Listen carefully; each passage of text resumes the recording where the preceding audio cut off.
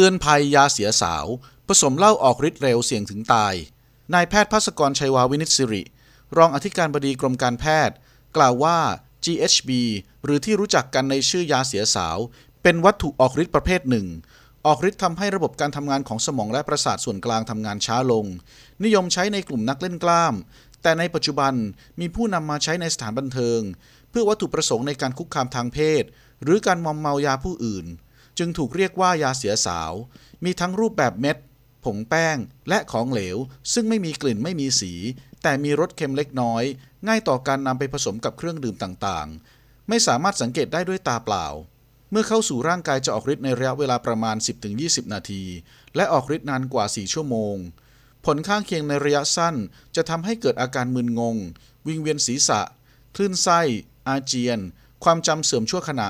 ซึมเศร้า มีอารมณ์ทางเพศ มีปัญหาทางด้านการมองเห็น ทั้งนี้หากเสพอย่างต่อเนื่องเป็นระยะเวลานาน จะพบอาการนอนไม่หลับ มีปัญหาเกี่ยวกับความทรงจำเกิดภาวะซึมเศร้า มีปัญหาทางจิต และมีปัญหาเกี่ยวกับระบบทางเดินหายใจ